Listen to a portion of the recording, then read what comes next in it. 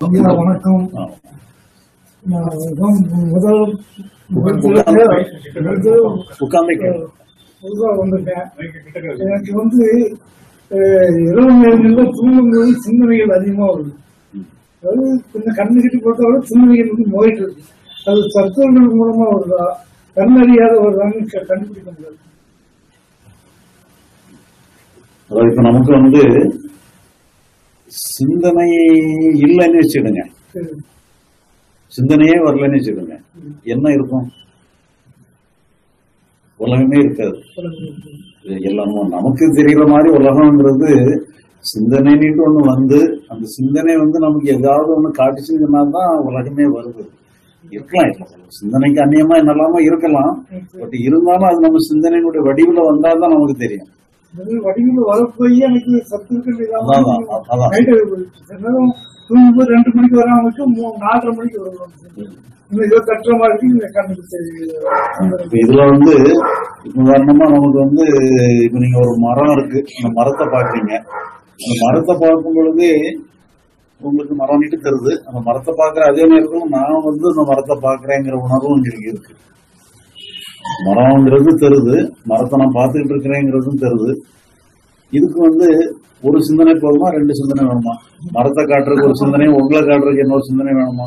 ஒரே சிந்தனை வந்து உங்களையும் காட்டுது மரத்தையும் காட்டுது. அதே மாதிரி நம்ம சிந்தனை எந்த சிந்தனை ஏற்பட்டாலுமே அந்த சிந்தனையில ரெண்டு பகுதி இருக்கும். ஒன்னு வந்து உங்களை காட்டும். இன்னொன்னு வந்து அந்த நீங்க எதையாவது ஒன்று ஃபீல் பண்றீங்களோ அதை காட்டுற மாதிரி இருக்கும். அதனால இப்ப மொத்தத்துல ஒரே ஒரு சிந்தனை தான் ஒரு நேரத்துல ஏற்படும். அந்த சிந்தனைக்குள்ள நிறைய இருக்கிற மாதிரி தெரியும். உதாரணமா பாத்தீங்கன்னா நீங்க ஒரு கனவு காண்றீங்க. கனவுங்கிறது ஒரு சிந்தனையினுடைய ஓட்டம் தான் அது. தூங்கும்போது ஏற்படக்கூடிய சிந்தனைக்கு பேர் கனவுன்னு சொல்றது. அந்த கனவுல பாருங்க எத்தனையோ எத்தனை ஆயிரக்கணக்கான ஒரு பெரிய கூட்டத்துக்குள்ள நடந்து போற மாதிரி கூட நீங்க கனவு காணலாம். அத்தனை வேலையும் ஒரே ஒரு சிந்தனை தான் காட்டுது. உங்களையும் காட்டுது அந்த கூட்டத்துக்கு மத்தியில நீங்க நடந்து போற மாதிரி உங்களையும் காட்டுது. இதே மாதிரி நம்ம சிந்தனை தான் வந்து எல்லாத்தையும் காட்டும். அதனால உங்களுக்கு எதிரி நீட்டு இருக்கிற மாதிரி ஒண்ணு காட்டுறது கூட உங்க சிந்தனை தான் அதை காட்டுது. அதனால உண்மையிலே வந்து எதிரின்னு சொல்லி அங்க யாருன்னு ஒண்ணும் கிடையாது. உங்க சிந்தனையே உங்களுக்கு எதிரியா இருந்துட்டு இருக்கிற மாதிரி ஏதோ ஒரு ரோலை எடுத்துக்கிட்டது. அதனால இப்ப நீங்க வந்து என்னன்னு சொல்லி சொன்னா அந்த சிந்தனையை வந்து சரி பண்ணணும்னு நினைச்சீங்கன்னு சொன்னாலே நீங்க அந்த சிந்தனையில உள்ள ஒரு பகுதி நான் சொல்லி ஒரு பகுதி இருக்கு பாத்தீங்களா? நான்கிறதும் ஒரு பகுதி தான். அந்த நான்கிறது எதை காட்டுதோ அது ஒரு பகுதி. எல்லாமே ஒரு சிந்தனையில் உள்ள ஒரு பகுதி தான் அந்த நான்கிற பகுதியை வந்து முக்கியத்துவம் கொடுக்காம விட்டுட்டீங்கன்னாலே போதும். நீங்க அந்த முக்கியத்துவம் கொடுத்தீங்கன்னா என்ன ஆகுதுன்னா அந்த நான்கிற பகுதி என்ன சொல்லுங்கன்னா நம்ம இந்த தூக்கத்தை நல்லா வச்சுக்கணும் இந்த தேவையில்லா சிந்தனை எல்லாம் விட்டுறணும்னு சொல்லி அந்த நான் சொல்லிக்கிட்டே இருக்கும். அதனால அந்த நானுக்கு நீங்க இம்பார்ட்டன்ஸ் கொடுக்க வேண்டிய அவசியம் இல்லை. சிந்தனை எந்த சிந்தனையாவது உங்களை கேட்டுட்டா வருது அதுவா வருது. வந்தது பிறகுதான் வந்ததே தருது. நீங்க நீங்க சில நேரங்கள் இந்த சிந்தனையே ஏற்படக்கூடாதுன்னு நினைக்கலாம். ஆனா உங்களை அந்த சிந்தனை இதெல்லாம் கேட்காது. அது அது பாட்டுக்கு வரும். அதனால அது உங்க கண்ட்ரோலுக்குள்ள உள்ளது இல்லை அது.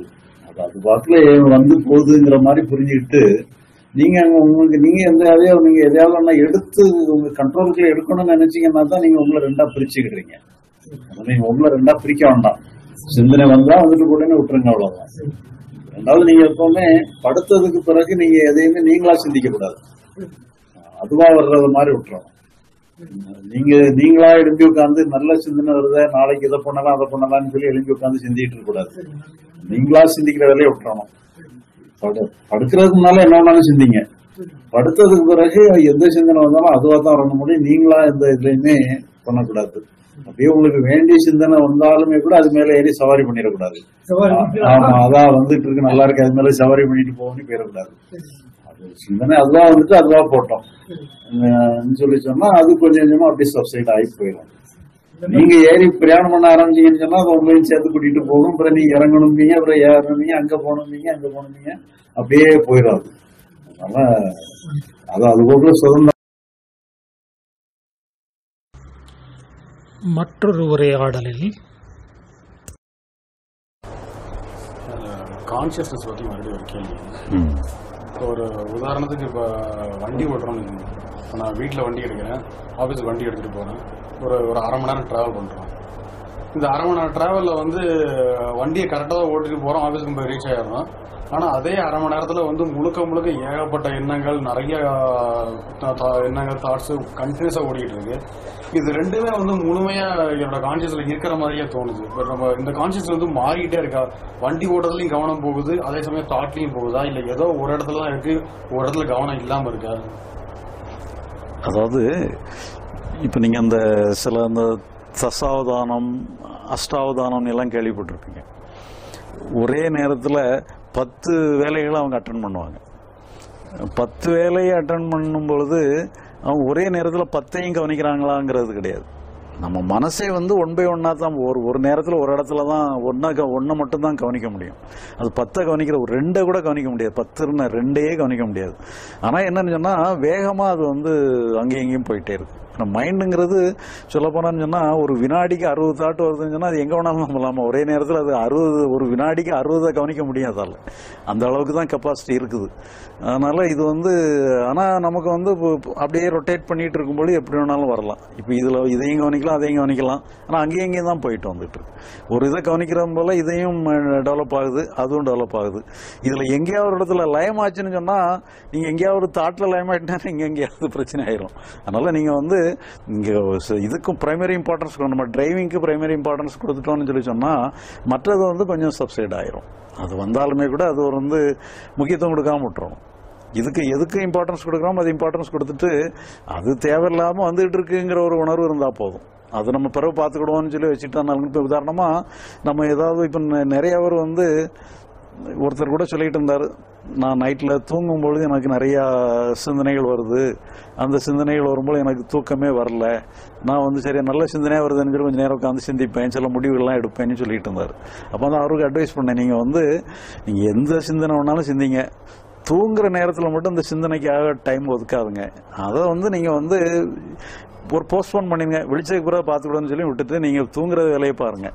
அதனால நம்ம நான் தூங்குற நேரத்தில் சரி நல்ல சிந்தனை வருது படுத்து கிடந்தே சிந்திப்போனா அன்னைக்கு தூக்கம் போயிடும் பிறகு. அதனால என்னன்னா தூங்குறதுக்குன்னு சொல்லி முடிவு எடுத்துட்டீங்கன்னு சொன்னா தூங்குற மாதிரி விட்டுருங்க. அதனால என்னன்னா இப்போ நீங்கள் டிரைவிங்கில் நீங்கள் போகிறீங்கன்னு சொன்னால் டிரைவிங் தான் பிரைமரி இம்பார்ட்டன்ஸ் மற்றதெல்லாம் டிரைவிங்கை முடிச்சுட்டு பார்த்துக்கிடுவோங்கிற மாதிரி நீங்கள் வச்சுக்கலாம். ஏன்னா முக்கியமான ஒரு வேலையை கூட இருக்கலாம். நீங்கள் டிரைவ் பண்ணிட்டு இருக்கும் பொழுதே முக்கியமான ஒரு வேலையை பற்றி நினைவு வரலாம். நீங்கள் அப்போ உண்மையான முக்கியம் இருந்துச்சுன்னா காரை ஓரமாக நிப்பாட்டிட்டு திங்க் பண்ணுங்க. காரை ஓட்டிட்டு திங்க் பண்ணாதுங்க. இல்லைன்னா காரை டிரைவிங் எல்லாம் முடிச்சுட்டு நம்ம திங்க் பண்ணுவோங்கிற மாதிரி வச்சுக்க வேண்டியதுதான். நீங்கள் அப்படி முடிச்சிட்ட பிறகு உங்களுடைய மனசில் வந்து அந்த மாதிரி ஒரு நீங்கள் நீங்களே ஒரு முடிவு கட்டின பிறகு சிந்தனை அது பாட்டுக்கு ஓடிட்டு இருந்துச்சுன்னா ஓடிட்டு போட்டோம். அதை நீங்கள் அதுக்காக ஓடக்கூடாதுன்ட்டுலாம் நீங்கள் தடை பண்ண வேண்டாம். இப்போ நமக்கு அது வேண்டாம். வந்தால் வந்துட்டு போட்டுன்னு விட்டுட்டீங்கன்னு சொன்னால் அது பலம் இழந்து போயிடும் அதுக்காக நீங்கள் அது வந்து வரவே கூடாதுன்னுட்டும் சொல்ல வேண்டாம். வரவே கூடாதுன்னு சொன்னால் உங்கள் கவனம் அதை இழுத்துரும். அதனால நீங்கள் அது வந்தால் வந்துட்டு போட்டு இப்போ நம்ம இதை பார்ப்போம்னு சொல்லிட்டு நீங்கள் போயிட்டு இருந்தீங்கன்னு சொன்னால் அது கொஞ்சம் பலம் இழந்துடும் அந்த பலம் இழந்தால் மட்டும் போதும். மற்றொரு உரையாடலில்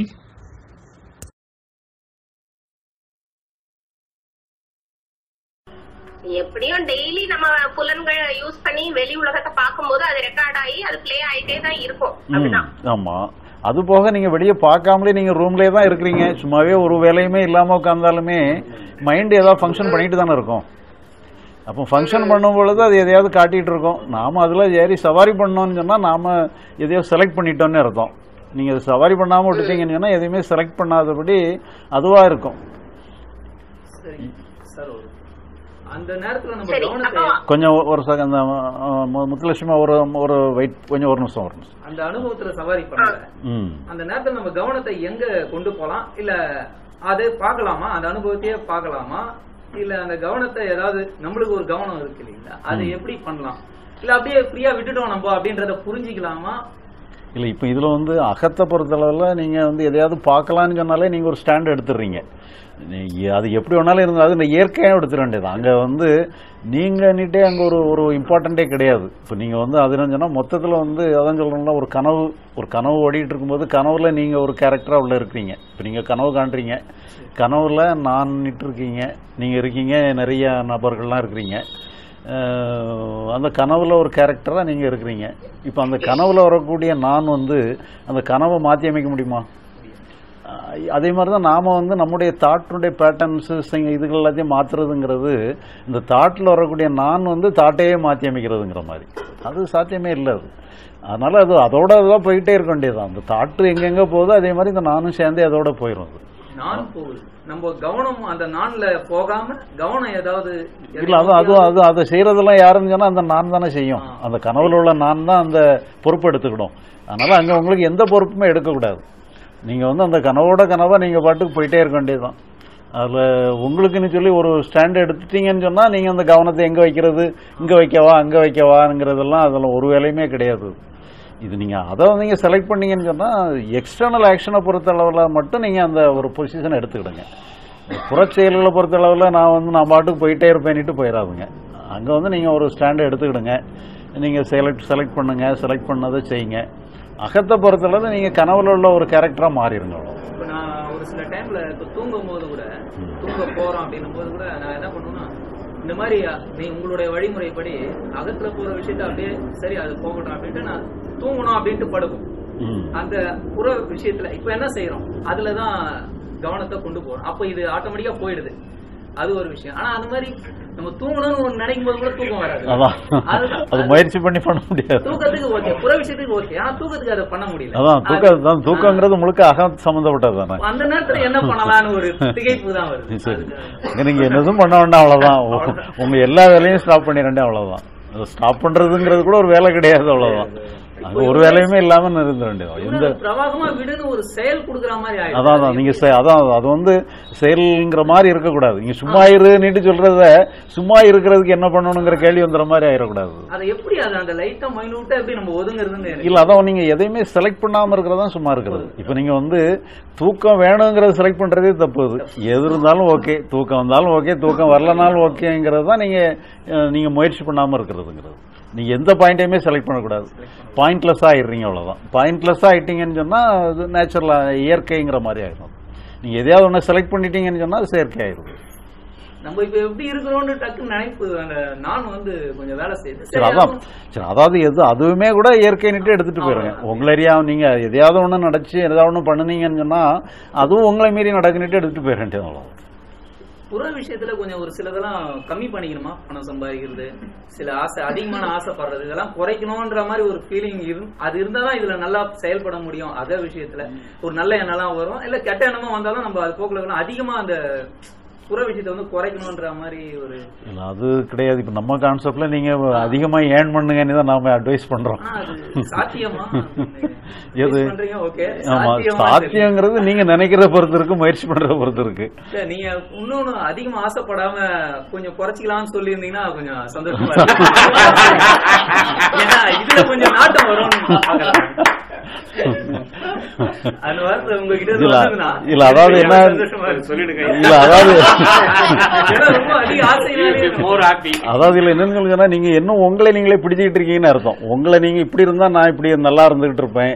இது இப்படி இருக்கனால நான் கொஞ்சம் கஷ்டப்பட்டுட்டு இருக்கேங்கிற மாதிரி உங்களை நீங்களே ஏதோ ஒரு வகையில நீங்க உங்களை ஒரு ஒரு கண்ட்ரோலுக்குள்ள வச்சுக்கணும்னு நினைக்கிறீங்க.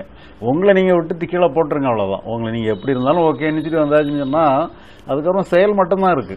செயலுமே கூட என்ன முதல்ல ஆசைங்கிறது ஒரு ஸ்டார்டிங் பாயிண்ட் நீங்கள் வந்து ஒரு பைக்கை ஸ்டார்ட் பண்ணுறீங்கன்னு சொன்னால் கிக் பண்ணுறீங்க அக்கா கடைசி வரைக்கும் கிக் பண்ணிகிட்டே இருக்க வேண்டிய அவசியம் இல்லை.